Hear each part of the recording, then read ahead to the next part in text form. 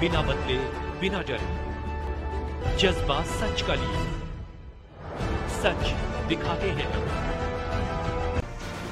ये बहुत सौभाग्य की बात है, मेरे लिए और मेरी टीम के लिए, मुरादाबाद की टीम के लिए, जिन्होंने मेहनत करी 22 मार्च 2020 से लगातार लॉकडाउन चल रहा है सेवा करी लोगों की और कर रहे हैं अभी।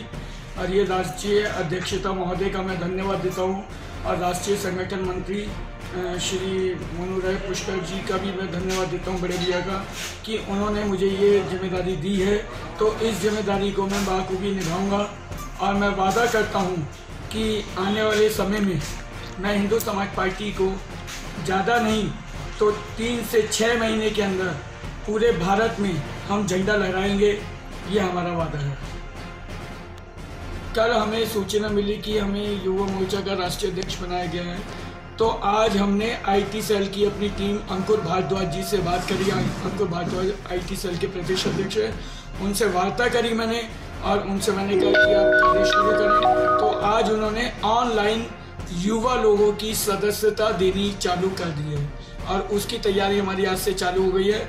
आज हम शाम तक कम से कम नहीं तो 30 से 35 लोगों को सत्रह अप्रैल 2020 आज है तो आज कम से कम 30 से 40 लोगों को सदस्यता हम ऑनलाइन देंगे। जैसे कि आप युवा मोर्चा के राष्ट्रीय अध्यक्ष बने हैं तो युवाओं से क्या अपील करना चाहेंगे?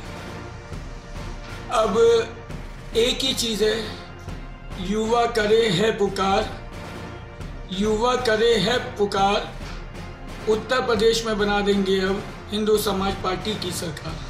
तो युवाओं की शक्ति अब हम दिखाएँगे युवा भविष्य है हिंदुस्तान का, युवा आगे आएगा, ठीक है? कई ऐसी चीज़ें हैं जिसको युवा को देख के अब हमें प्रेरित करना है कि युवा आगे बढ़े, अपना रोज़गार खुद बनाए, अपना कार्य खुद करे, किसी भी लोगों का अधीन ना रहे, युवा शक्ति जिंदाबाद